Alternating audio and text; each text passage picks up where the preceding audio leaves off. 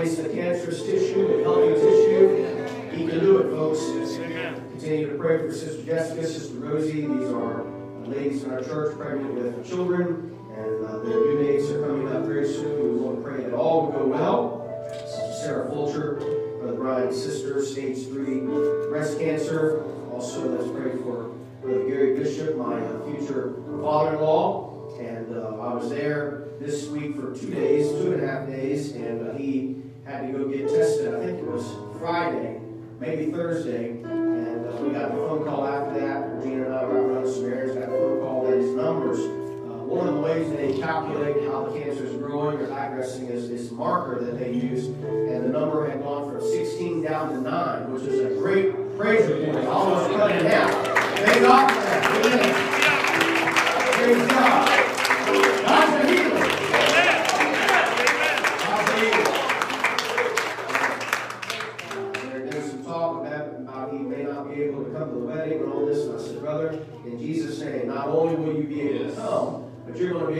called your daughter down Damiana. Amen. In Jesus' name, let's continue to pray for Sister Paula and also uh, Sister Celeste Morrison. I Not only her family, but she's had some uh, health issues this week. And uh, you know, sometimes it just feels like things just pile on. Just pile on. You ever been there? You just feel like you're getting all piled by the devil.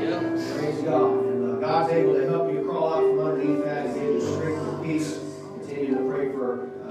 Beulah, to Elijah's grandmother, recovering from heart surgery and doing well. And we give God praise for that. I'm sure there are needs here in the house today. We have some recurring needs that we put on the screen. These are just needs that, um, whether we have a prayer request physically written out or not, we want to continue to pray for those needs. So please uh, familiarize yourself with those names and lift them up in prayer. God's in this place. Yes. Special prayer this morning. Feel free to come right up. Watch the tripod, the area that we're broadcasting from. Walk, come right up and line up here. Please space out, wear your mask, and I'll wear mine, and I'll pray with you. The Lord's able to touch you. Would you lift your hands with me all over the house this morning? Let's open our mouth. Let's open our voice.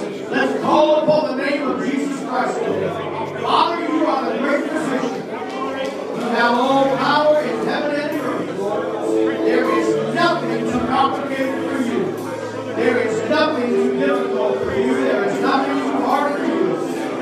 stand on the promise of the Word of God this morning. Your Word is yea and amen. Hallelujah. We believe your word to be true. We thank you for healing for every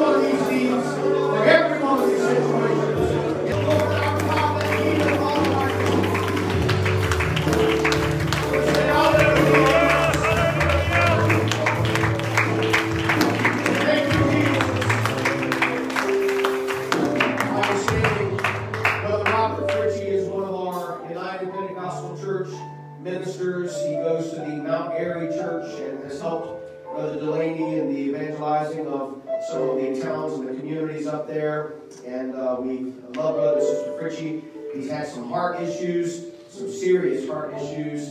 We sent him some uh, an offering last year just to help with some of the medical expenses. He's a good man. And about a month and a half ago or so, he went to the doctor and they said, You're going to have to have a complete heart transplant. Your heart is dying. And uh, that was bad news. That was bad news indeed, especially after everything he's been through. He went to a second doctor, and uh, that was about a week later or so. And I, I want to get, try to get the facts right. And I read this this week, and he shared it with all the ministry. And uh, that doctor looked at it and said, I don't believe what I'm seeing. You have a brand new heart. Your heart is completely brand new. You don't need a heart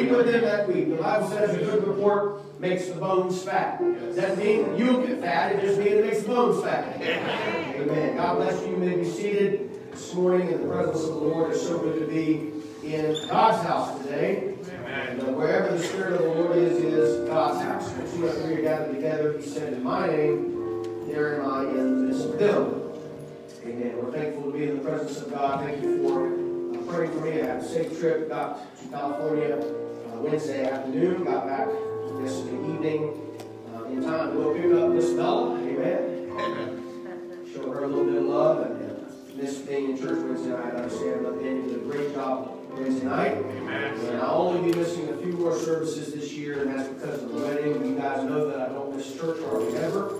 And if I do, I try not to miss a Sunday. Uh, but it is inevitable. October the 7th, Wednesday night, October the 11th, Sunday morning, October the 7th, uh, 14th, Wednesday night the local ministers will be taking care of the services. I'll be uh, at the wedding and honeymoon. And So after that, I shouldn't have to miss any more church. But I appreciate your faithfulness. I'm faithful when you're here. I appreciate you being faithful when I'm not here. Amen? Amen. Amen. God bless you. I want Brother Ryan to come and share a testimony, a brief testimony, right before we receive our tithes and offerings. We've been praying this prayer that we've been praying for probably a year or so, maybe a little more. And uh, I want him just to share some good things that God has done.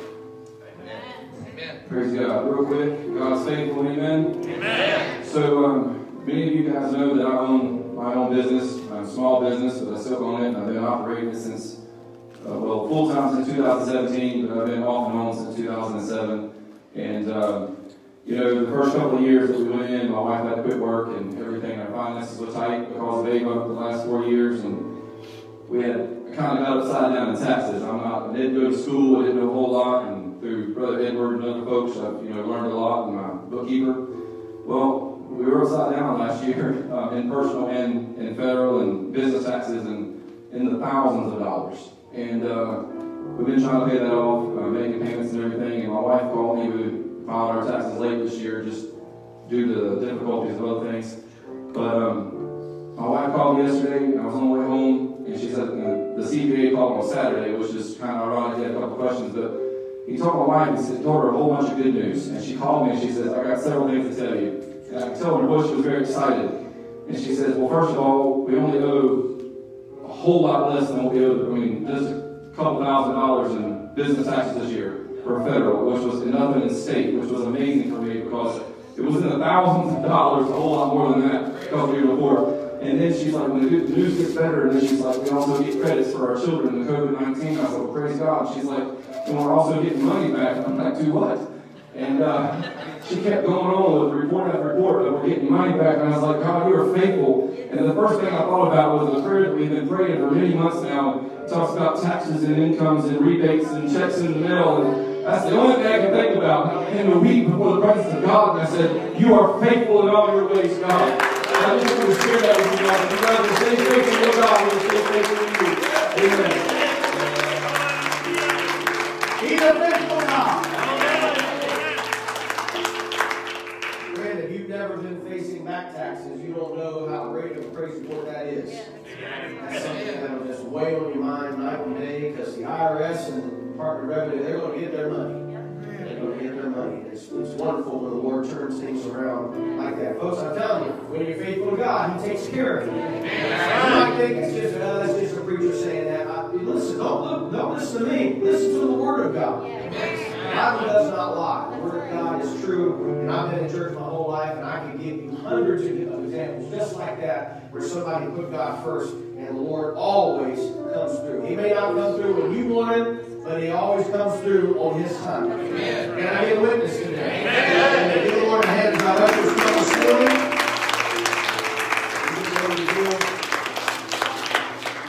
We are calculating our building fund again now live during the service, so please be aware of that and be prepared for that. Uh, we'll give you those numbers here in just a moment. And this is Matt, we're going to start off with 130 that came in Wednesday night. So 130, I'll have to tell you that for the service. If you need an envelope, let Brother Mike up and Doug know.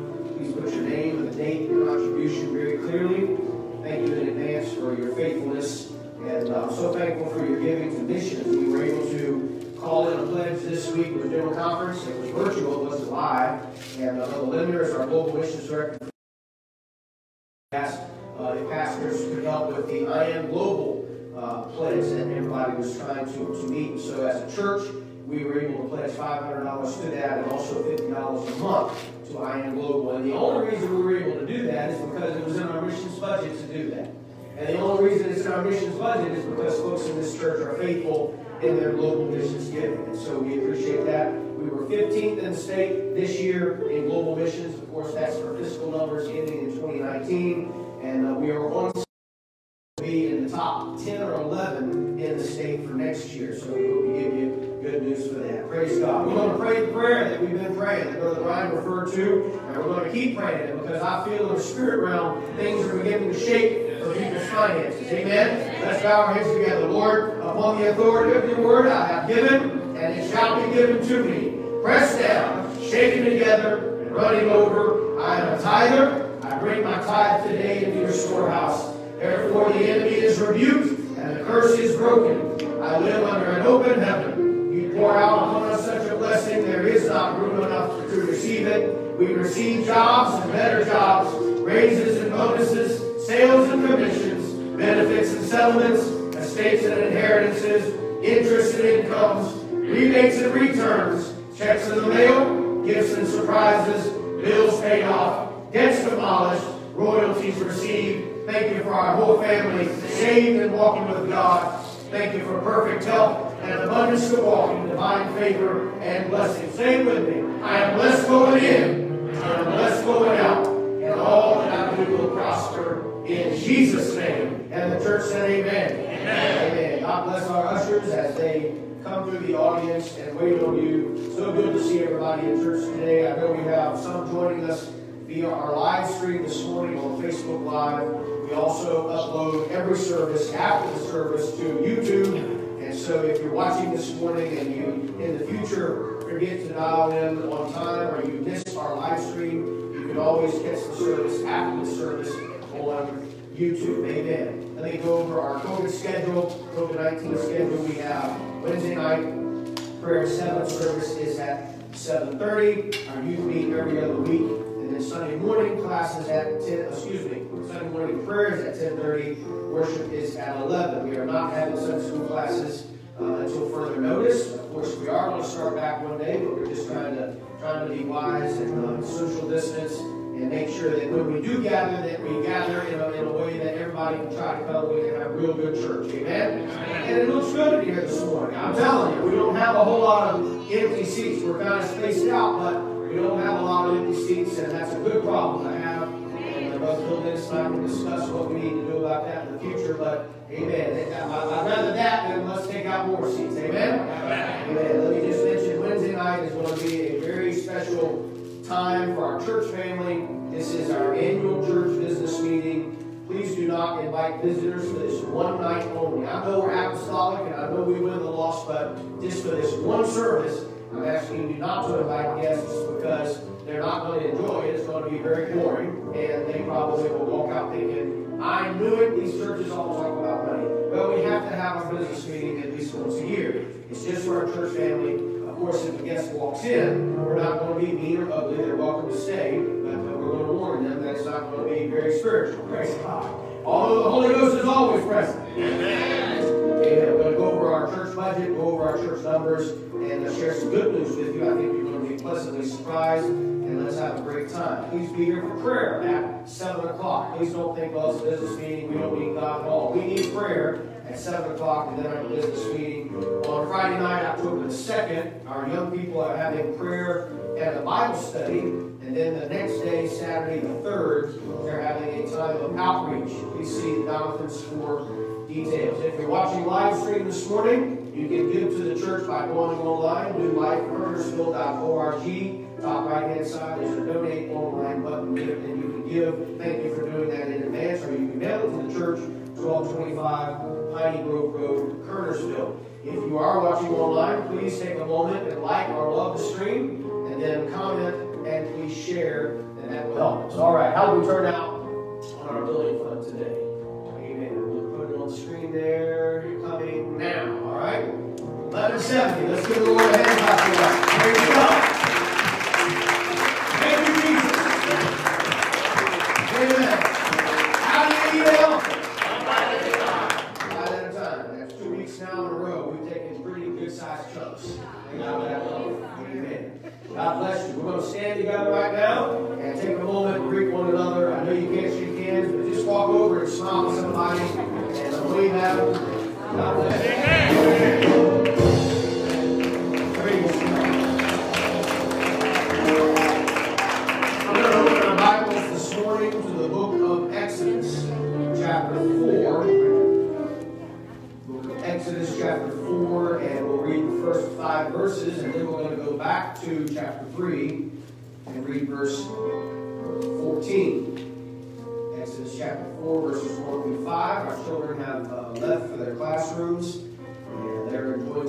School. Brother Edwards giving me good reports about classes every Sunday. And we will keep the one class for the time being. If and when we need to split up into two classes, we will.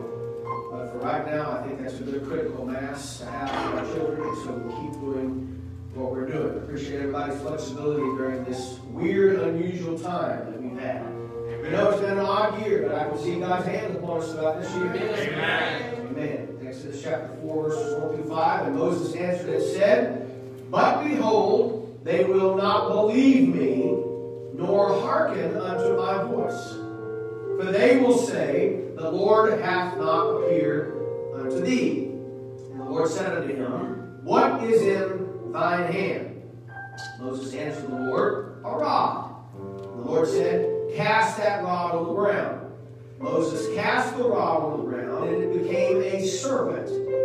And Moses fled from before it. Moses ran from his own rod.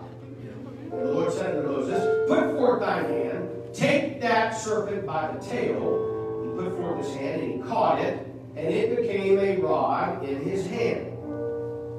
Verse 5 That they may believe that the Lord God of their fathers, the God of Abraham, the God of Isaac, the God of Jacob, hath appeared unto thee. Now let's go back to chapter 3, verse 14, and read one verse before seated. Exodus chapter 3 and verse number 14. And God said unto Moses, I am that I am. And he said, Thus shalt thou say unto the children of Israel, I am hath sent me unto you. Now, this is an unusual verse. Moses is asking for some type of credentials from the Lord. God is saying, You're going to go talk to Pharaoh, you're going to tell Pharaoh this, and you're going to tell Pharaoh that. Moses asks a very reasonable question Well, who do I tell him to send me?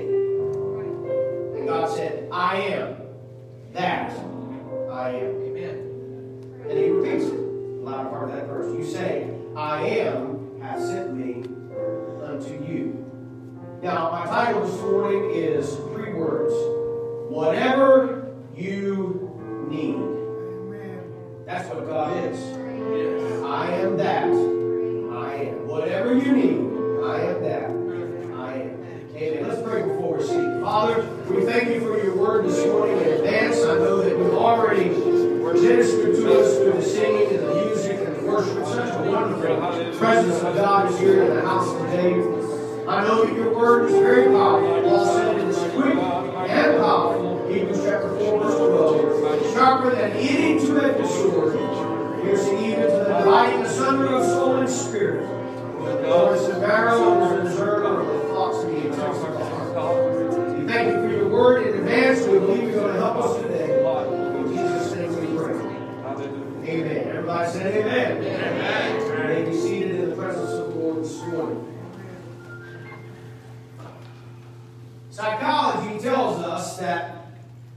You are able to determine a lot about someone's inner self when they write down five answers to the question, I am. So psychologists say if you hand someone a blank piece of paper, number one, I am, question mark.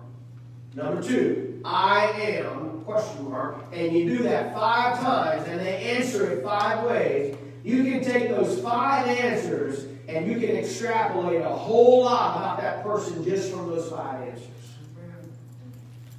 People might answer, well, I am American. I am Chinese. I'm Russian. I am Latino. I am African. Or they may say, well, I'm black, or I'm white, or I'm yellow. Or they may say, well, I'm Gentile, or I'm Jewish. It's interesting to see how people categorize themselves. Somebody might say, well, I'm tall, I'm skinny, I'm short, I'm overweight. Somebody might say, I'm fat. Uh-huh. Somebody might answer, I'm bald, I'm hairy, I'm poor, I'm middle class, I'm rich. Right. I'm successful, I'm unsuccessful. I'm Pentecostal, I'm apostolic, I'm Catholic, I'm Lutheran, I'm Episcopalian, I'm Baptist. Some might answer, I'm smart, I'm average, I'm not intelligent at all. I'm funny, I'm sad, I'm happy, I'm depressed, I'm sick, I'm healthy. Just five answers. Five answers from a patient tells a therapist a lot about that patient. And it gives them a snapshot or a quick overview of the mentality of that person. Because all of us have something just bubbling right beneath the surface. And when a person walks in, that therapist doesn't have two hours to kind of sit and get the whole background and all the details. They just say, Tell me five things about you real quick. And whatever the top five things are that person is struggling with, it's going to bubble up to the surface. Right. Right. Man, that's good. Moses was concerned about the authority issue at stake here in Exodus chapter 3 and in Exodus chapter 4. Moses was just a shepherd working for his father in law, Jethro. On the backside of a dusty mountain when God spoke to him out of a burning bush.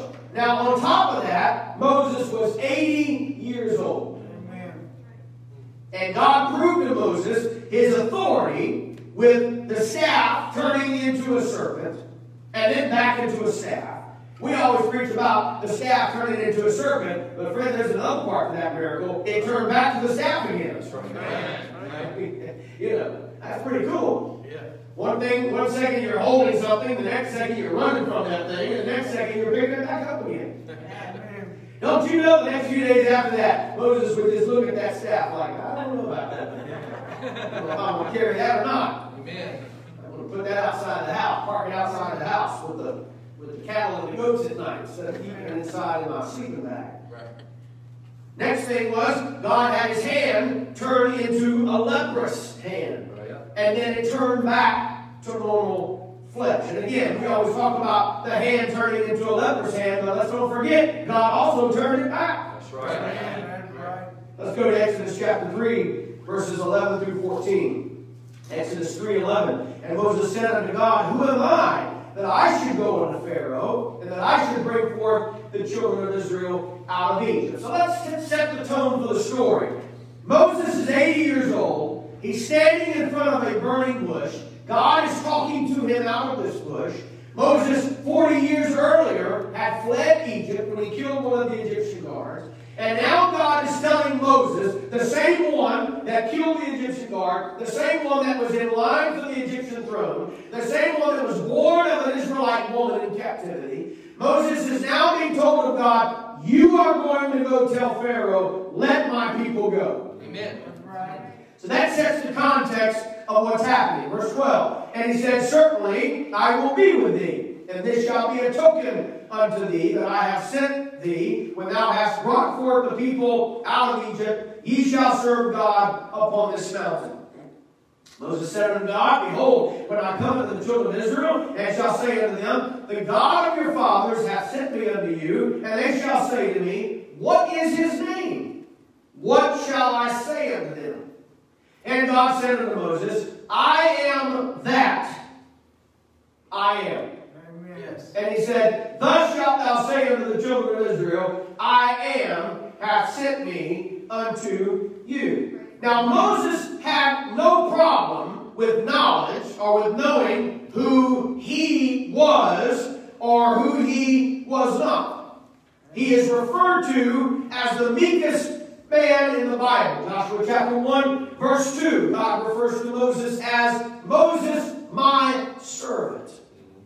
Moses did not have a problem understanding that he did not have adequate authority to persuade the most powerful man on the planet to let the Israelites go. In verse 13, he even asked God, What shall I say unto them? And God's answer is a little bit odd. Surely Moses thought, as he waited with bated breath, that God was going to thunder out from the bush, Tell them the deliverer hath sent you. Perhaps he would even say, Tell them Pharaoh's worst nightmare has sent you. I have to believe that Moses was not quite prepared for the answer that God gave because God's answer was a little bit cryptic. Verse 14 I am that I am. You tell him that's who sent you. Right. Amen. Tell him the I am hath sent me unto you. Brothers and sisters, what is God this morning? What do you need God to be today?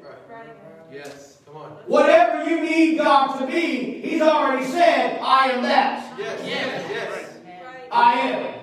You see what's beautiful about the people of God? We all come to church this morning with different situations in our lives. There are some that need healing in their bodies. There are some that need financial miracles. There are some that need a psychological, psychological infusion of hope and, and, and joy today. Yes. There are some that just need strength in your physical being. You're just tired. You're just wore out. There are some that need a little bit of hope today. There are some that need guidance. And what's beautiful about the smorgasbord of what God has laid out is God says, I am that. You just fill in the blank, whatever you need today. I am that. I am.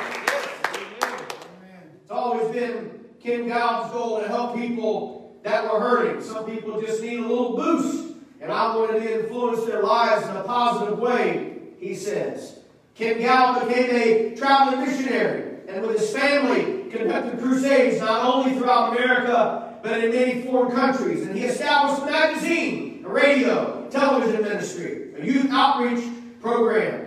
But sometimes even preachers get drained and discouraged, and they wonder if they should consider another line of work. That's how Reverend Gallup felt one day in the 1970s as he and his wife Barbara and their children were driving two ministry buses down I 75 just south of Dayton, Ohio. Reverend Gallup was driving one of those buses and he was praying, God, am I doing any good traveling around like this, telling people about you, setting up these tents and breaking down all this stuff and traveling and pinching pennies and wondering if I'm going to be able to support my family? Is this all that you want me to do? One of Reverend Gallup's sons spoke up and said, Dad, let's get some pizza. And still lost in thought, he turned off the exit to get on Route 741 one sign after another advertised a wide variety of fast food. And Reverend Gallup said, Lord, a sign. A sign. That's what I need. I need to see a sign. Ken's son and daughter-in-law had already maneuvered the second bus into a pizza parlor's parking lot. They stood waiting as Ken pulled up. The rest of the family bounced down the steps, and Ken just sat there staring into space. He told his family, I'm not really hungry. Y'all go in and get some pizza. I want to stay out here and stretch my legs and just watch the buses. So his wife and the others went into the restaurant, and Reverend Gallup stepped outside. He closed the bus doors. He looked around, and he noticed there was a Dairy Queen in the parking lot. He walked over and got him a soft drink and was walking back toward the bus, still pondering, just exhausted. You ever been there before? Just exhausted. Mentally, emotionally, physically, just tired. And he was wondering, man, you know, I just don't know if I can keep doing this or not. And all of a sudden, he heard a phone ring. This is, of course, way before the days of cell phones, and that jangle was coming from a pay telephone in a booth at the service station right next to the Dairy Queen. Now, here's an age test here today. How many of you remember pay telephones? We went to the courthouse to get our marriage license Thursday, and God is my witness. They had three pay telephones in booths. You can go inside and shut the booth. Man, you don't see that hardly anywhere. And I told Regina, I said, I can tell you this thing was built in the 40s or the 50s. Yeah. And so Ken heard this jangle coming from a pay telephone in a booth at the service station right next to the Dairy Queen. As he approached the booth, he looked around to see if anybody in the station was going to come out and answer the phone. The gas attendant, everybody was busy, oblivious to the noise, and so the ringing kept going. 10 rings, 15 rings, 20 rings. And so finally, Ken walked over, held his coke in his left hand, picked up the phone with his right hand, and said, Hello? And the phone, that voice on the other end was the operator, and she said, I have a long distance call for Reverend Ken Gaub. He said, You're crazy. This can't be. I was just walking down the road and the phone was ringing. Is this a joke? Obviously, he's looking around for the candid cameras, you know, somewhere in the parking family was eating pizza in a randomly selected restaurant just a few yards from there. Nobody on the planet knew Reverend Gallup was in that parking lot. And the operator said, Sir, I have a long distance call for Reverend Ken Gaub. Is he or is he not there? And of course, he said, Operator, I am Reverend Ken Gallup. The operator said, Are you sure? And Ken heard another voice on the telephone. The lady on the other end said, That's him, operator. That's him. Mr. God, I am Millie from Harrisburg, Pennsylvania. You do not know me, but I'm desperate. Please help me. The operator hung up and Ken, uh, Ken Gallup said, What can I do for you? She began to weep. Millie began to weep. And, and Ken patiently waited for her to regain control. And she explained, I was just about ready to kill myself. And I started to write a suicide. I began to pray. And I told God, I don't really want to do this. And in the middle of doing that, I remember seeing your picture on a track somebody handed me and I thought if I could just call that preacher on that track. She said, I knew it was impossible because I don't know how to reach you. So I started to finish the suicide note. And all of a sudden, numbers began to come in my mind. And I wrote them down. And I called that number. And you answered the phone. Amen. She said, I can't believe I'm talking to you. Are you in your office in California? And Ken said, I don't have an office in California. My office is in Yakima, Washington. She said, Well, where are you right now? And he said, You don't know? You called me. She said, I don't know where it is. I just called the number. He said, I'm in a parking lot in Dayton, Ohio. Now, folks, you can sit here and think, well, that could never happen to me. Let me tell you something. God knows exactly where you're at. In the Old Testament, I don't believe it was just a dialogue between Moses and God. I believe it was prophecy. I believe God was letting us know, I am that. I am. It doesn't matter where you go, It doesn't matter how low you sink, doesn't matter what situation that you go through. You might feel like nobody else knows where you're at. You might feel all alone. You might feel destitute. You might feel afflicted. You might feel bewildered and just confused with life. And here's this woman about to kill herself, and God begins to give her digits that turn out to be a phone number for a pizza parking lot in Dayton, Ohio, for the very preacher that she wanted to talk to. Now you tell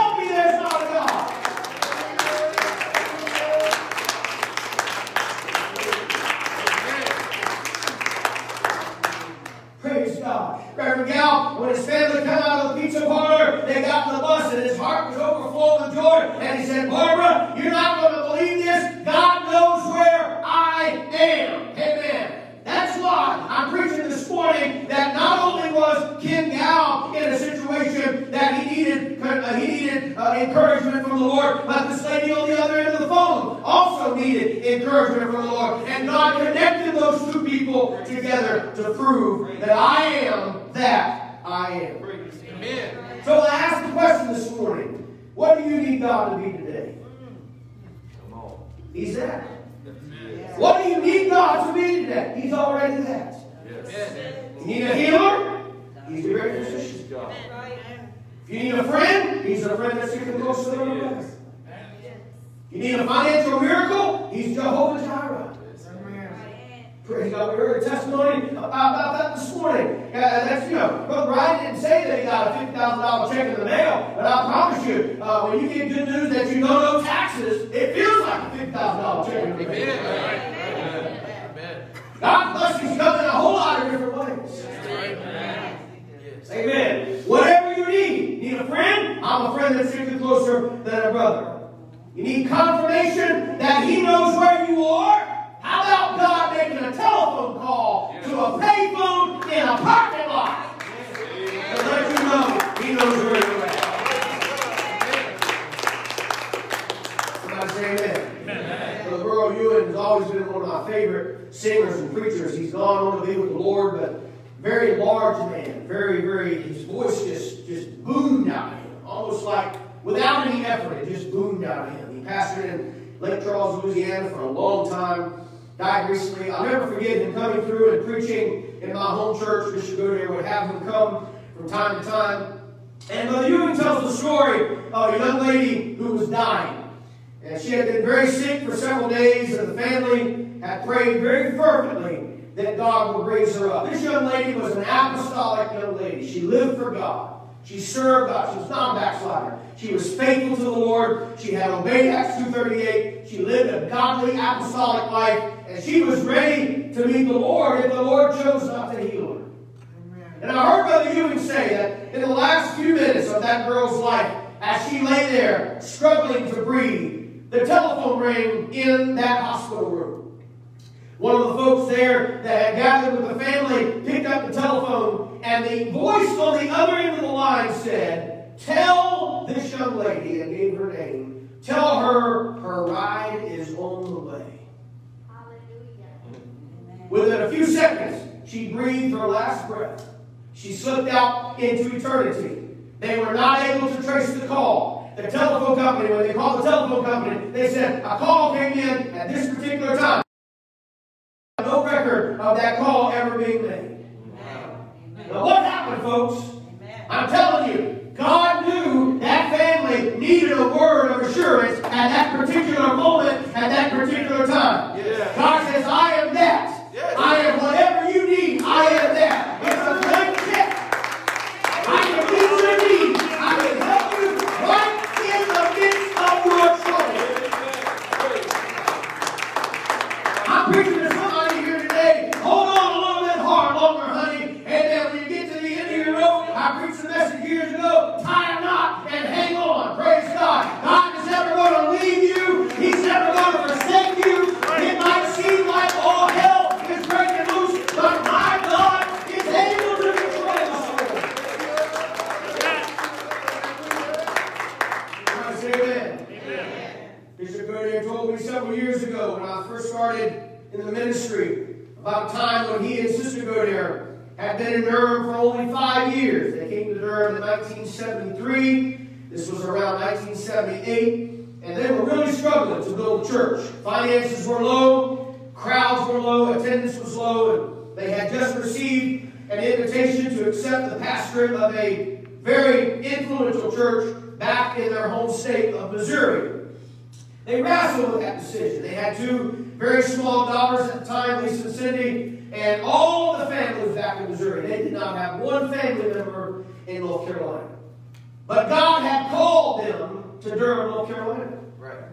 And so on a Sunday afternoon, they discussed the situation very extensively over lunch, and both Bishop and Sister Goodyear had, had spent many hours in prayer and fasting about this choice that was looming in front of them. And Bishop Goodyear told Sister Goodyear that he felt God was going to help them make a decision. That night at church, they had Sunday night church, he asked the small congregation if there were any testimonies. And one by one, every single one of those people in the church stood up and expressed their appreciation to Bishop and Sister Goodyear and said stuff like, if you had not come to this town, I'd be lost and on my way. This went on several minutes. Finally, Bishop Goodyear said, he looked at Sister Goodyear, she was on the organ, and tears were flowing down both of their cheeks, and he said, I think God just gave us our answer. Within 12 months, they had a breakthrough and began to have great revival. Amen. And of course, uh, my home church is one of the largest Pentecostal churches in North Carolina. $18 million worth of property, two uh, sanctuaries, a family life center, rental houses, 30 buses, and thousands of people have come to the Lord because of their ministry. Thank God that He knows where we're at when we need Him the most.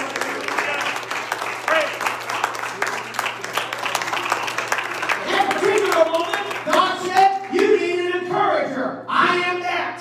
I am an encourager. Whatever you need today, He is that. Somebody say, Praise the Lord. You need a shepherd, He's there to guide you. Psalm chapter 23. The Lord is my shepherd. I shall not want. He maketh me to lie down in green pastures. He leadeth me beside the still waters. He restoreth my soul. He leadeth me in the paths of righteousness for his name's sake. Yea, though I walk through the valley of the shadow of death, I will fear no evil. For thou art with me. Thy rod and thy staff, they comfort me. The staff is something the shepherd always has. Matter of fact, the candy cane on the Christmas trees every year represents the shepherd's staff. But that same staff can be flipped over and the other end becomes a rod. Right. Crack that sheep on the head when he gets out of line. Whack him in the back of the leg when he gets out of line. Whack him on the tail when he gets out of line. Amen. God said, I'm your shepherd, but when you need me also to help you get back in line, I can do that too. Right. Yes.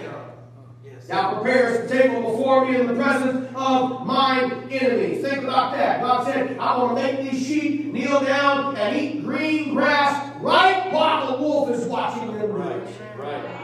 Now anointest my head with oil, my cup runneth over. I don't have time to dig into all this, but this is packed with beautiful stuff. The oil that the shepherd would put on the sheep was, was a, a- an oil that would protect the sheep from bugs and from insects that would uh, dig down into the sheep's eye lining and dig down into the sheep's uh, ears and into the sheep's mouth and cause uh, infection. That, that shepherd would rub oil all over that sheep's head to protect that sheep from things that were going to happen. I am holding us this morning. Somebody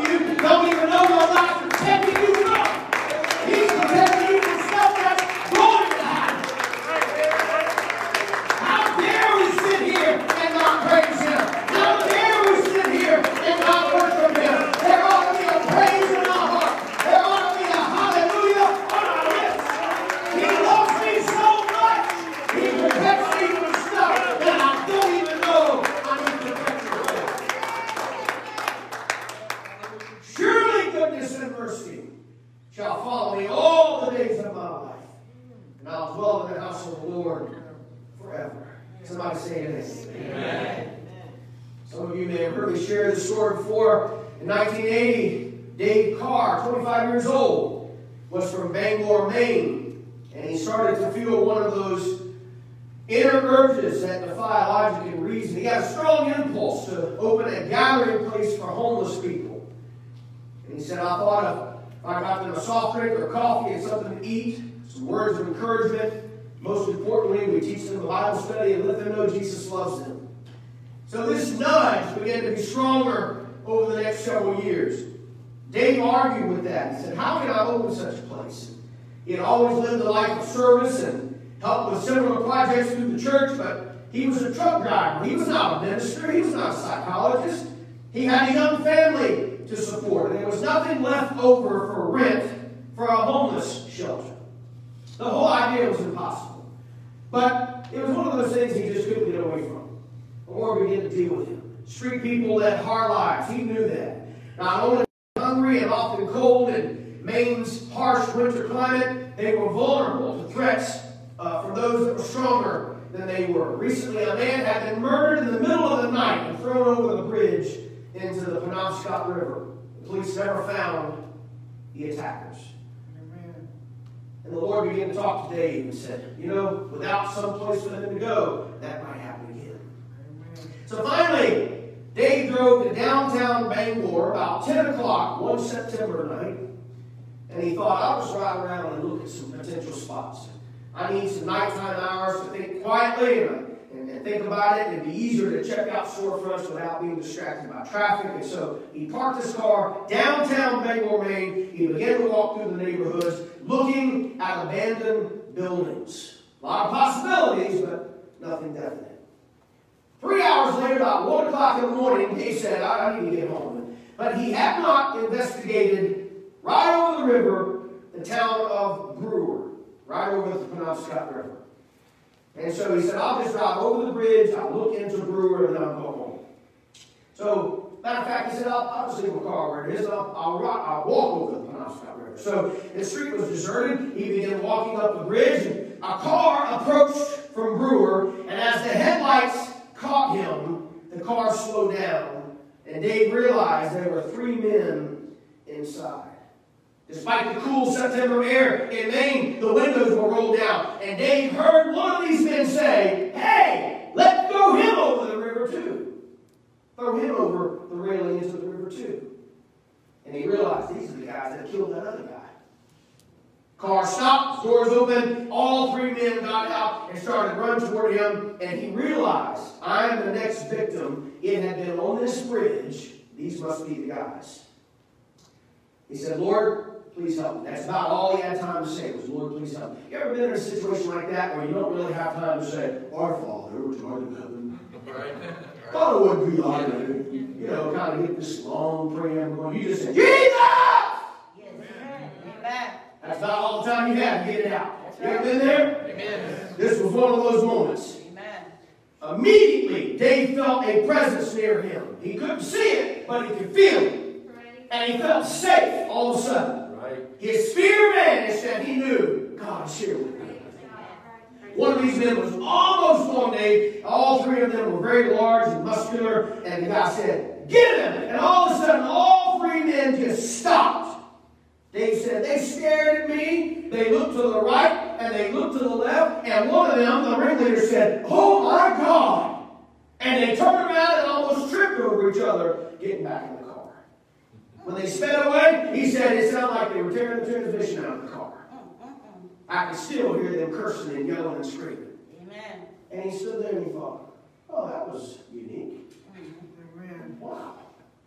Thank Amen. God. Amen. He kept walking. He crossed the rest of the bridge.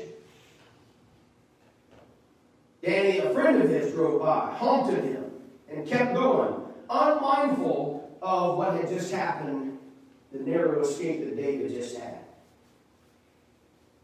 Very next day, Danny, the guy that drove by, saw it and said, Hey man, I saw you. I couldn't stop for you last night. I saw you on the bridge. What were you doing at 1.30 in the morning on the bridge? He said, I didn't have room for all of y'all in my car. He said, All of us. It was me. He said, No, no, no. There was two big old guys right next to you. One on the left, one on the right. They were like massive. He said, That's the only reason I didn't stop. I couldn't get them in the car. Amen. Right. And they realized, I am that. I am that. I didn't need a check right then. I didn't need a healing right then. I didn't need an encouragement. What I needed was a shel- was, was, was protection. I needed shelter from the enemy. Right. We're not going to stand here today and give you example after example, true stories of how God always comes through. The devil, if you choose to serve the devil, he's never going to come through for you like that. Amen. He's going to steal your health. He's going to steal your finances. He's going to steal your marriage. He's going to steal your children. And when that all is done, he's still not happy. He wants your soul. But God says, whatever you need from me, I am that. I am. You just fill in the blank. You need a healer? I can heal your body. You need a friend at 1 o'clock in the morning on a bridge? I can be there. You need a telephone call in a parking lot? I can make that call for you.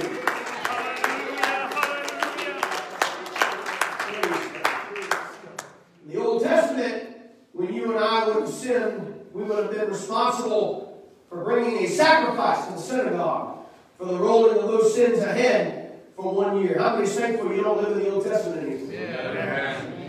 In the New Testament, John 3.16, For God so loved the world that he gave his only begotten Son. Whosoever believeth in him should not perish, but have everlasting life. Thank God for his love. Amen. Romans chapter 5, verse 5, and hope maketh not ashamed, because the love of God is shed abroad in our hearts by the Holy Ghost, which is given unto us. Thank God for his love. Romans 5 and 8, but God commendeth his love toward us, in that while we were yet sinners, Christ died for us. Thank God for his love. John chapter 1, verse 29. Next day, John seeth Jesus coming unto him, and he said, Behold the Lamb of God, which taketh away the sin of the world. Jesus Christ looked down at the Old Testament and said, That way is not working anymore. Tell you what I'm going to do. I'm going to wrap myself in flesh. I'm going to go down to the very people that have rejected me, and I'm going to give my life for them. Amen. It's as if God heard someone mourn the fact that there was no way you could ever repay him for all the wrong you had done. And God said, What? Sacrifice? Shed blood? Payment? I am that. Right. Amen. I am. Let me close with this. Charles Colson gave this testimony. As one who has served time in prison and has spent most of my life working in a prison, he said, I'll never forget the most unusual prison I've ever visited. It's called Humacia Prison. It's in San, São Jose dos Campos in Brazil. Formerly a government prison. It's now operated by Prison Fellowship Brazil as an alternative prison without any armed guards or without any high-tech security. It's run on Christian principles of love of God and respect for men. Humacia Prison is odd because it only has two full-time staff.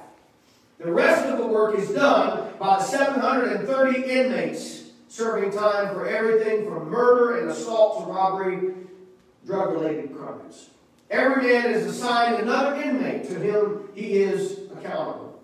In addition, each prisoner is assigned a volunteer from the outside who works with that prisoner during his term and after his release. Prisoners take classes on character development and are encouraged to participate in educational and religious programs. Mr. Colson says, When I visited this prison, I found the inmates smiling.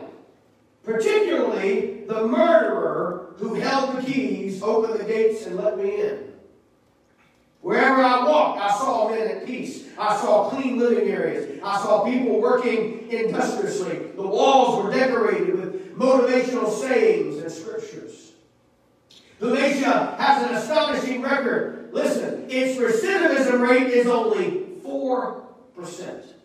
Now, recidivism in criminal justice is the study of what they call the open door policy. How many criminals go in and how many of them come right back in. Right. Yeah. The rest of Brazil has a 75% recidivism rate. In other words, three out of four prisoners, when they get out, are coming right back in. But in Tunisia prison, 4%. How is this possible? He said, I saw the answer. When my inmate guide escorted me to the notorious cell once used for solitary punishment. Today, he told me, it houses the same inmate every day. And he said, Would you like to see this inmate? I said, Sure. We reached the end of the long concrete corridor. He put the key in the lock and he turned around and said, Are you sure you want to see this inmate? Well, of course. I've been in isolation cells all over the world. I study prisons. I like to see this inmate in this cell. He slowly swung the massive door open, and I saw the prisoner in that cell. A crucifix, beautifully carved, Jesus hanging on the cross. And the inmate murderer, the guy that was walking me around, unlocking, turned around and looked at me with tears running down his face and said, He's doing the time for the rest of us. Moses looked at himself and saw what he was not. Right. Yes. And that's why he said, Who do I say? Yes. I said, I am nothing. So please give me something to take to Pharaoh. And God said, I'm not going to narrow myself down and tell you one thing. I'm just going to say, I am that. Praise God. Praise God. Jesus can fit the bill. There will never be a time when you need something and God will say, Sorry, we're fresh out of that this week. Brother Marcus, if you come back tomorrow. Went into a grocery store recently. I love smoked oysters. Always have, always will. I just love smoked oysters. Went to the grocery store and they were out of smoked oysters. And I went to the manager. I said, "How can y'all be out of smoked oysters? I mean, there's not a whole lot of people that eat those things. You know, some people go, oh, gross, nasty. I just think they're delicious. How can you be out smoked oysters? She said, you know, I- we've had problems with shipping and, and you know, everything's on COVID. COVID. I guess oysters get COVID now.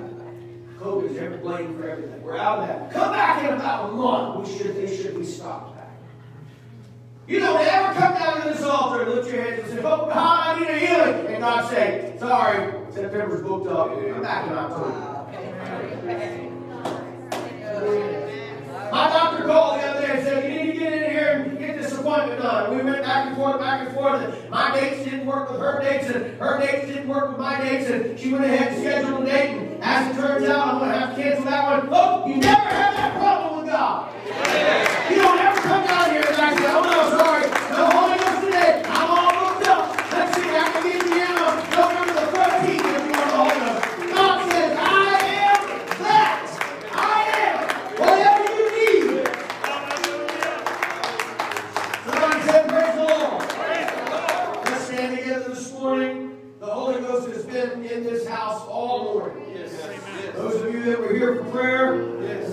of God was here early in the prayer meeting. Amen. I know we're socially distant. I know things are odd and you have a face mask on, but you ought to be able to lift your voice with me right now, lift your hands with me right now. If you need